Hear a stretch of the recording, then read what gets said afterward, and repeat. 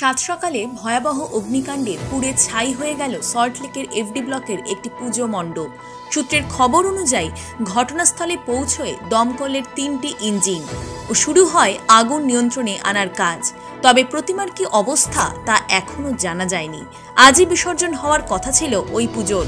কিন্তু কি থেকে লাগল এই আগুন তা জানার চেষ্টা করছে দক্ষিণ বিধাননগর থানার পুলিশ। ব্যুরো রিপোর্ট, এগিয়ে বাংলা নিউজ।